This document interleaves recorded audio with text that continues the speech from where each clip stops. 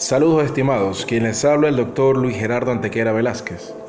En este podcast hablaré sobre la urolitiasis. Definición. La urolitiasis se define como la presencia de litiasis, piedras o cálculos en la vía urinaria. Representa un trastorno metabólico complejo y multifactorial, y sus consecuencias están determinadas por la obstrucción del tracto urinario y el potencial daño renal que esto conlleva. Los cálculos urinarios corresponden a concreciones minerales y de matriz orgánica formados a partir de los componentes de la orina. Epidemiología. La urolitiasis es una fuente significativa de morbilidad y en todo el mundo industrializado la prevalencia de este problema va en aumento. Para situar en perspectiva el problema de la litiasis urinaria podemos señalar los siguientes dos puntos. Es la tercera afección más común en la urología, solo superada por las infecciones del tracto urinario y por las condiciones patológicas de la próstata. El riesgo durante la vida de presentar un evento litiásico es del 13% en adultos con un máximo entre los 20 y 60 años de edad. En Estados Unidos, aproximadamente el 13% de los varones y el 7% de las mujeres terminarán para formar un cálculo renal durante su vida.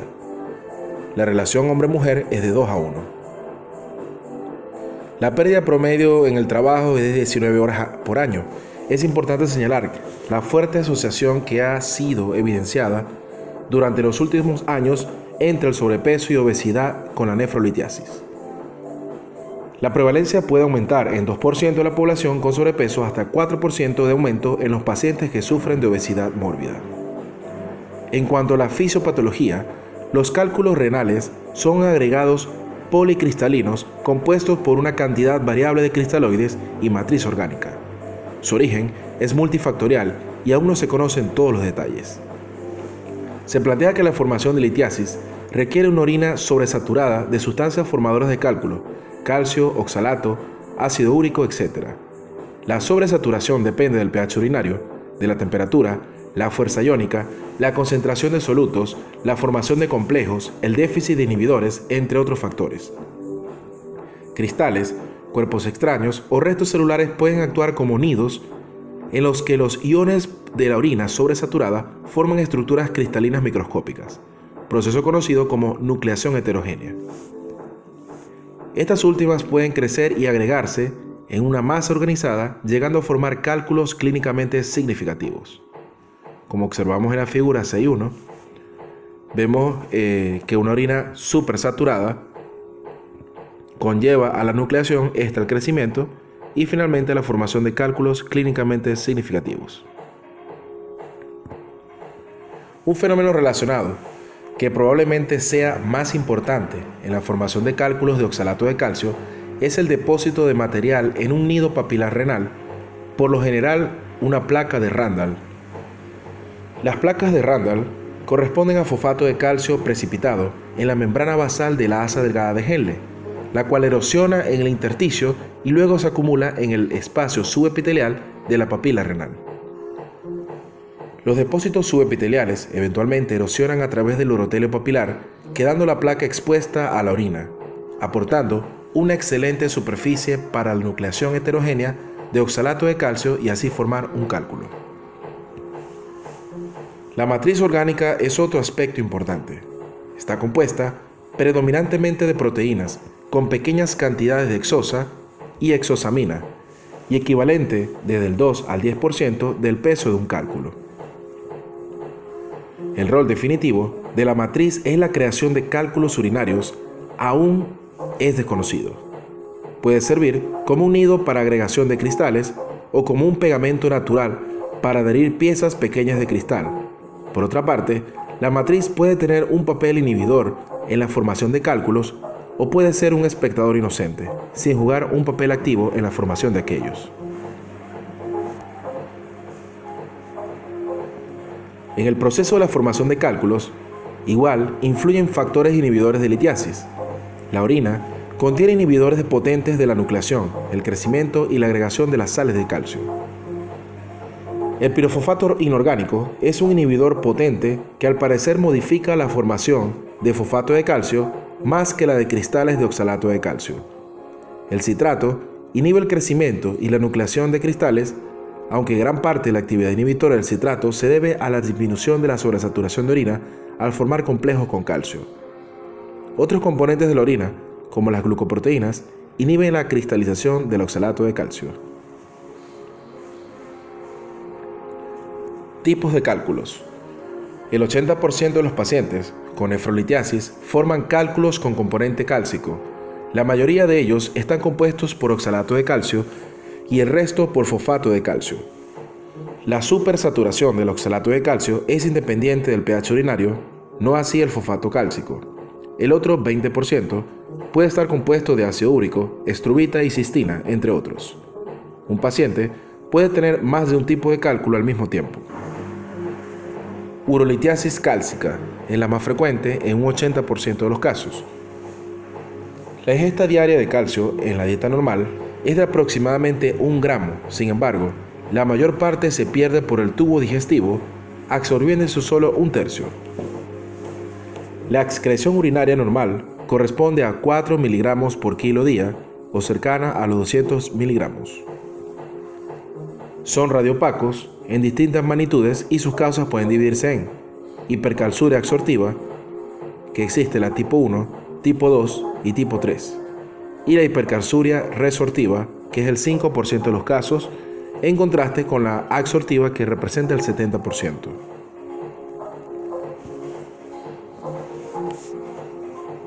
el otro tipo sería la urolitiasis no cálcica, que representa el 20%, específicamente formado por fosfato de amonio, magnesiano, coraliforme o estruita.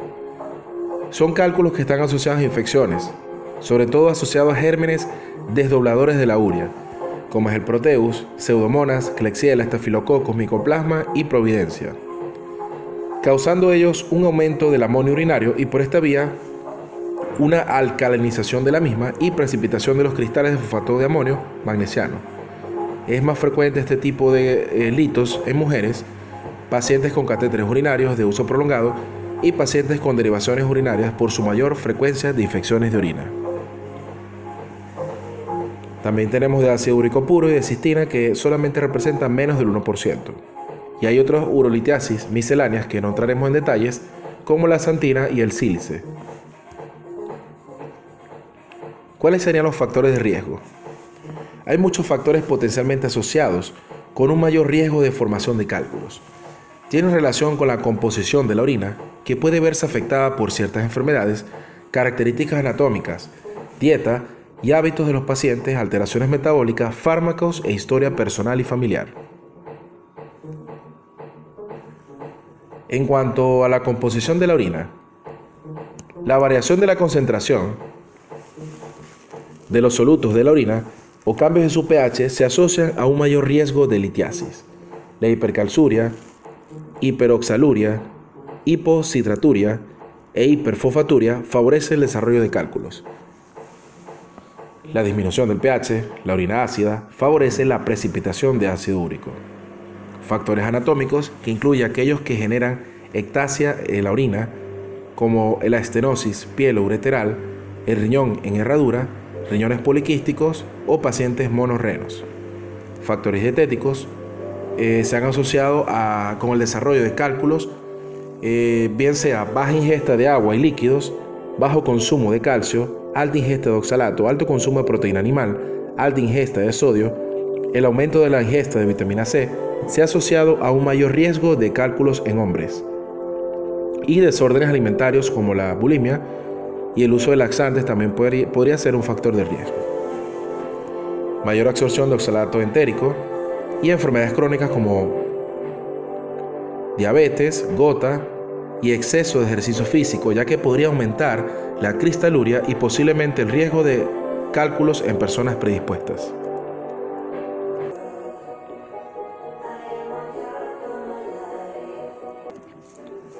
Ciertos fármacos por uso de medicamentos que pueden cristalizar en la orina, como el indinavir, aciclovir, sulfadiacina y triantareno. También se ha observado en los niños que reciben tratamiento prolongado con ceftraxona. El uso de topiramato, de igual forma, aumenta el riesgo de litiasis renal.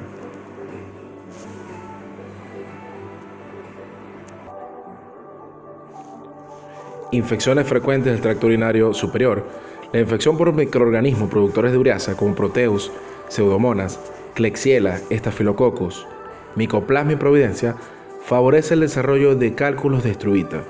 El diagnóstico se sugiere en un paciente con ITU recurrente, dolor suave en flanco, hematuria, pH de la orina persistentemente alcalino, mayor de 7, y frecuentemente con múltiples cristales de fosfato de amonio, magnesio en el sedimento urinario.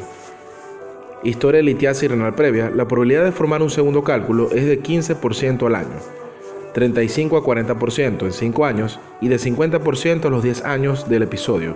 Los hombres son más propensos a recurrir que las mujeres. Antecedentes familiares, el riesgo aumenta el doble si existe historia de urolitiasis en pacientes de primer grado. Por otro lado, un fuerte historial familiar de nefrolitiasis en hermanos puede sugerir la presencia de formas hereditarias raras de nefrolitiasis, como la enfermedad de Dent, forma de hipercalciuria, la deficiencia de adenina, fosforibosiltransferasa y cistinuria.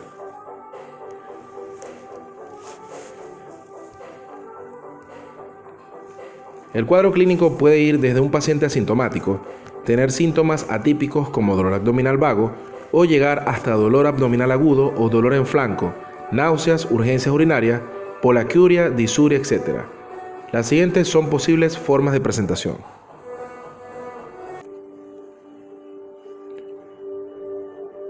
Asintomático. 32% de los pacientes desarrollará síntomas en dos años y medio y 49% en cinco años.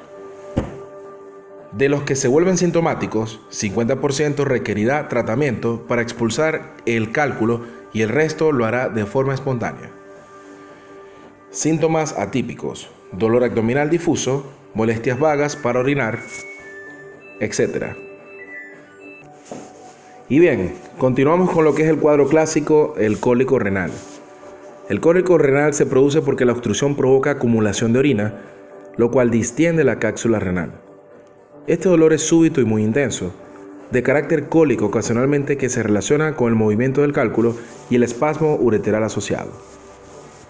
Hay intranquilidad psicomotora, puede acompañarse de vómitos, síndrome disúrico y hematuria. La hematuria macroscópica o microscópica ocurre en la mayoría de los pacientes con litiasis renal sintomática. Puede presentarse asimismo en pacientes asintomáticos, es uno de los factores predictivos más precisos de litiasis renal en pacientes con dolor en flanco unilateral. Su ausencia no excluye el cuadro.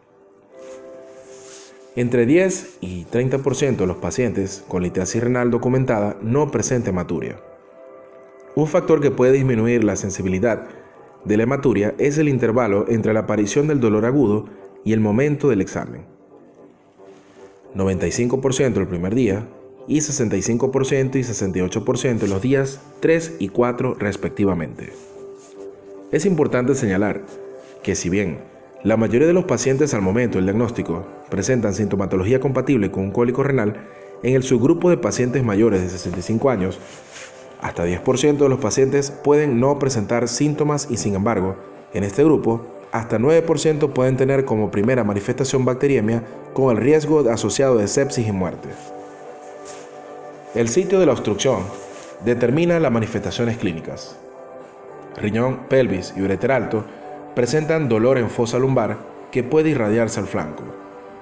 Ureter medio y bajo, el dolor se irradia a hipogastrio y el área inguinoescrotal o labio mayor. Y ureter intramural manifiestan disuria dolorosa, polacuria, urgencia y hematuria. La localización del dolor puede cambiar a medida que migra el cálculo. Muchos pacientes pueden a través de los síntomas reconocer si el cálculo ha pasado a través del uréter. Sin embargo, los cálculos que están impactados y que no migran no se pueden localizar con certeza basados solamente en los síntomas. Es necesario mencionar que una ubicación variable del dolor puede simular un abdomen agudo o un aneurisma disecante. En algunos pacientes con dolor en espalda crónico, el diagnóstico de cólico agudo puede ser difícil sin un estudio de imagen. El cólico renal es un problema clínico frecuente y complejo a veces. El diagnóstico de urolitiasis se hace con base a la información obtenida de la historia, examen físico, análisis de orina y estudios de imagen. La ecotomografía abdominal es un examen que toma poco tiempo, de bajo costo y no invasivo. La desventaja es que es operador dependiente y no se ve cálculos pequeños como tampoco se ve bien el ureter distal. Se prefieren mujeres embarazadas o personas que no pueden recibir radiación. Pielotac es el gold standard para el diagnóstico de urolitiasis. Este es el examen que hay que pedir, a diferencia de un TAC de abdomen. El Pielotac no tiene contraste y hace cortes más finos, menores a 3 milímetros. Permite ver, por tanto, cálculos, su ubicación y ayuda a determinar el tratamiento, el tamaño, el número y permite realizar un diagnóstico diferencial. Sedimento de orina y urocultivo ayudan a detectar de igual forma la presencia de hito concomitante. BUN y creatinina para evaluar la función renal. Además, a los pacientes con fiebre o signos de urosepsis se les debe solicitar un recuento completo de células sanguíneas. Adicionalmente, en aquellos pacientes con vómitos abundantes deben ser evaluados los electrolitos plasmáticos. Estudio metabólico consiste en medir las variables en orina que aumentan la probabilidad de litiasis, calcio, ácido úrico, oxalato, etc.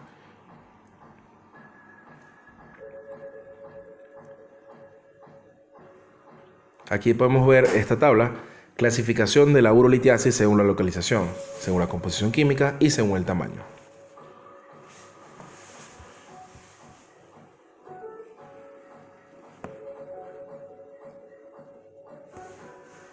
La clasificación de la urolitiasis y eh, procedemos ahora a continuación a hablar del diagnóstico diferencial. Muchas, muchas condiciones pueden imitar un cólico renal por litiasis. Si es piélica y ureter proximal, se puede parecer a un cólico biliar, a colecistitis aguda, a pancreatitis aguda, úlcera péptica, obstrucción intestinal, cáncer renal. Si es ureter distal, a obstrucción intestinal, por lo general no se asocia hematuria, diverticulitis, apendicitis, torsión testicular o epidimitis, patología ginecológica, enfermedad inflamatoria pélvica, ovario o quisto ovárico complicado y embarazo ectópico. El tratamiento en el servicio de urgencias va a ser el manejo del cólico renal, reposo relativo, puede caminar en el box de urgencia, régimen cero, presentan náuseas y vómitos y porque pueden requerir eventualmente una cirugía hidratación, solución fisiológica o Ringer, analgesia, antiinflamatorios no esteroidales, AINES, eh, se prefiere el ketorolaco, ya que disminuye el tono muscular, tratando directamente uno de los mecanismos por los cuales ocurre el dolor, el espasmo ureteral. Si el AINES no es suficiente, podemos agregar opioides. Algunos beneficios de los AINES respecto a los opiáceos son un menor requerimiento de analgesia de rescate y una menor incidencia de efectos adversos, especialmente náuseas y vómitos. Además, el tratamiento con AINE desalienta a los pacientes que simulan el cuadro clínico en busca de opiáceos. Por otro lado, en pacientes con enfermedad renal preexistente o severa, depresión de volumen, los AINES pueden interferir con la respuesta de autorregulación de los riñones a la obstrucción aguda y provocar insuficiencia renal aguda. Los AINES deben ser idealmente suspendidos tres días antes de realizar la LEC, es decir, la litotricia extracorpórea, para minimizar el riesgo de sangrado. Se realiza pielotac cuando sea el dolor y se puede administrar tansulosina a 0.4 miligramos por día, que es un alfa bloqueador que produce relajación ureteral, aumentando hasta el 30% la probabilidad de eliminar el cálculo. Se usa en pacientes con cálculos distales menor a 10 milímetros y de manejo ambulatorio. Una vez realizada la imagen pielotac, sabremos dónde se encuentra el cálculo y de qué tamaño es. Con los datos proporcionados se decidirá que de acuerdo a la probabilidad de expulsión espontánea si el manejo será médico o quirúrgico. Mientras más pequeño y distal sea el cálculo, es más propenso a salir sin intervención. De acuerdo al tamaño del cálculo, las probabilidades de eliminarlo son, si es menor a 5 milímetros, 95%. Si es entre 5 y 10 milímetros, 50%. Y si es mayor de 10 milímetros, 10%. El manejo óptimo de los cálculos ureterales varía con el tamaño, ubicación y la presencia y ausencia de comorbilidades del paciente. El manejo de acuerdo al resultado del pielotac y condición del paciente es el siguiente. Si el pielotac muestra obstrucción o hidronefrosis y el paciente tiene signos de infección, es decir, leucocitosis mayor de 15.000, escalofrío, sudoración, hospitalizar, urocultivo y luego antibiótico de amplio espectro. Drenaje de la vía urinaria a través de la nefrostomía percutánea o stent ureteral, es decir, un doble J instalado por vía uretral. Si el pielotac no muestra obstrucción o hidronefrosis, pero el paciente es monorreno o persiste con dolor o vómitos, hay que hospitalizar, hidratación endovenosa, control del dolor y drenaje de la vía urinaria si es monorreno. Si el pielotac muestra obstrucción o hidronefrosis, pero el paciente no tiene signos de infección, o si el pielotac no muestra obstrucción o hidronefrosis, y el paciente tiene dos riñones y no tiene dolor persistente ni vómitos, manejo ambulatorio con analgesia oral. Alfa bloqueador, que es la tansulosina, y la interconsulta a urología. Indicaciones inminentes de hospitalización va a ser la siguiente. Evidencias de urosepsis, es decir, urolitiasis más fiebre o urolitiasis más examen de orina alterado. Dolor refractario del tratamiento, vómitos y náuseas, que es casi lo mismo porque refleja una mala tolerancia oral y por consiguiente una imposibilidad de recibir medicamentos por esta vía. Falla renal aguda, anuria, especialmente eh, atención se debe tener con pacientes diabéticos, embarazadas, monorrenos, trasplantes, o sea, trasplantados renales y litiasis bilateral. El manejo médico expulsivo es un tratamiento conservador que consiste en la hidratación en analgesia. Se puede administrar ketorolaco en dosis de 10 miligramos cada 8 o cada 12 horas por 5 días. Hidratación tansulosina y nifedipino que ya no, no es utilizado en la actualidad. Luego de 4 semanas de manejo médico, si este fracasa, está indicada alguna intervención pues aumenta el riesgo de complicaciones y deterioro renal. Los pacientes que se manejen de forma ambulatoria deben tener un buen control del dolor, sin evidencia clínica de sepsis y una adecuada reserva funcional renal. Idealmente deberían ser seguidos con estudios de imagen de forma periódica para controlar la posición de la piedra y para evaluar la hidronefrosis.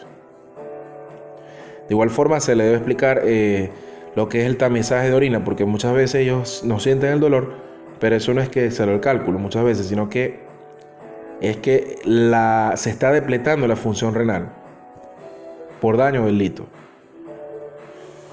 Tratamiento activo se realiza cuando el cálculo es mayor de 6 milímetros, siempre entre 4 y 6 milímetros hay duda.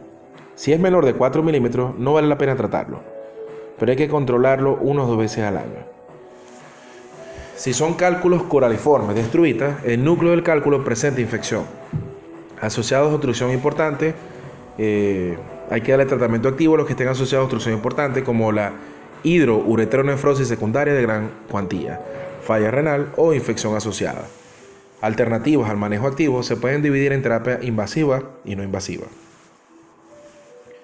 A mayor invasividad de la técnica quirúrgica, mayor tasa de eliminación del cálculo, stone free, pero mayor tasa de complicaciones.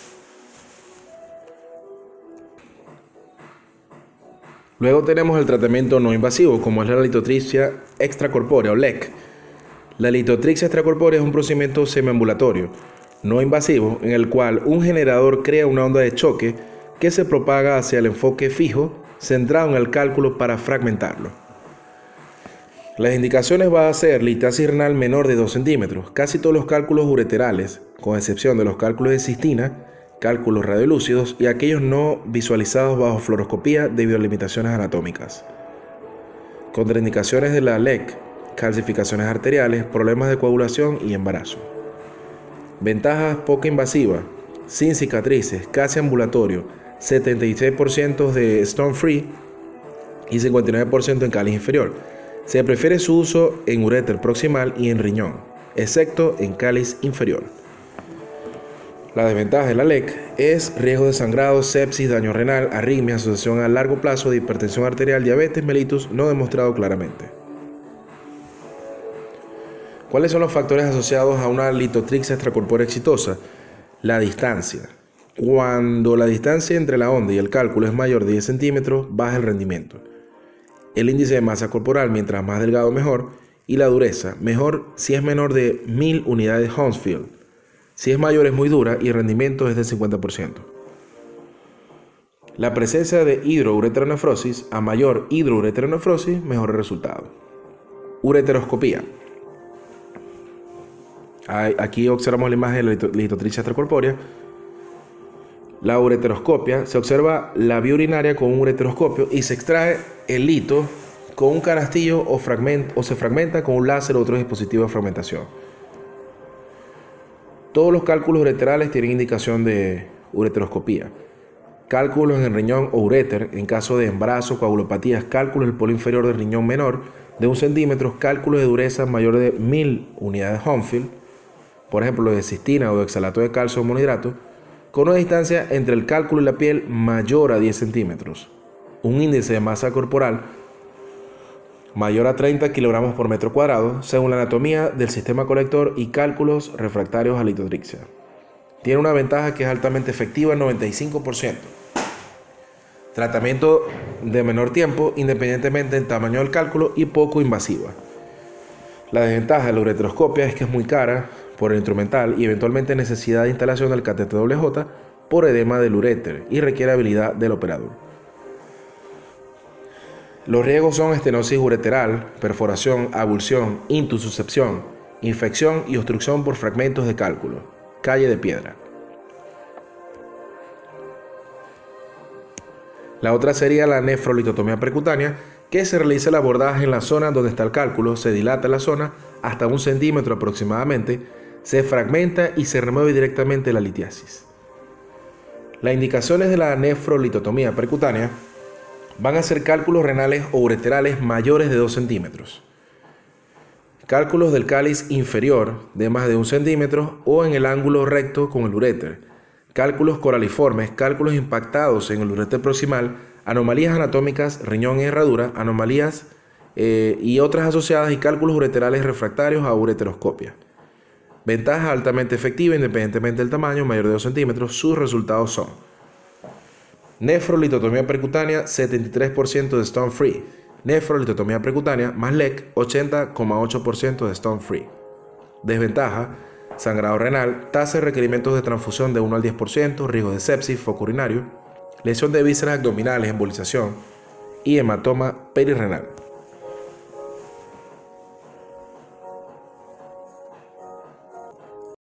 Ya otros métodos invasivos serían la cirugía abierta o laparoscópica, casi no se realiza en la actualidad, solo en un 0,3 a un 0,7% de los casos. Indicaciones, bueno, un cálculo que esté asociado a estenosis piel ureteral, múltiples localizaciones o riñón dañado o falla de los otros métodos. Ventajas de 81,6% de stone free. Toda vía urinaria obstruida que se infecta o que, se, o que presenta falla renal debe ser drenada y luego desobstruida.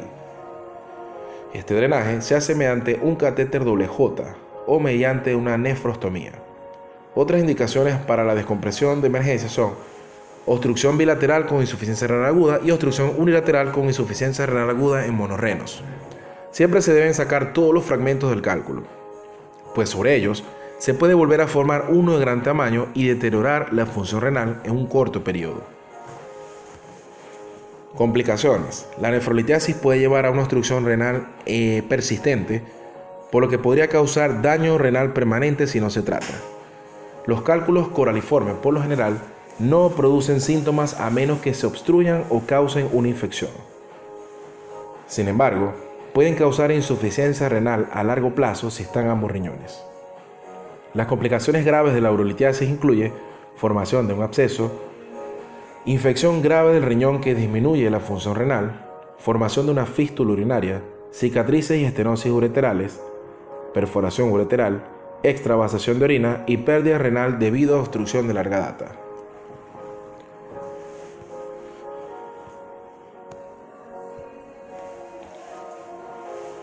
Pronóstico. La tasa de recurrencia de litiasis renal normalmente es del 50% en 5 años y 70% más en 10 años. También se han reportado las tasas de recurrencia después de un periodo inicial de uretrolitiasis, siendo estas de un 14, 35 y 52% respectivamente. La terapia médica suele ser efectiva para retrasar la tendencia a la formación de cálculos. En cuanto a la prevención, no entraremos en detalles, eh, a grosso modo, eh, Por supuesto, tomar 2 litros al día de agua. Claramente es demostrado que un paciente que ha tenido cólico renal disminuye su riesgo. Si se adhiere a la ingesta de líquido, pues va a mejorar. Baja ingesta de proteína, bajo sodio, baja ingesta de oxalato, consumo normal de calcio, uso de tiacidas y citrato de potasio sodio. Y ven, aquí damos por concluido el tema de urolitiasis. Gracias por su atención.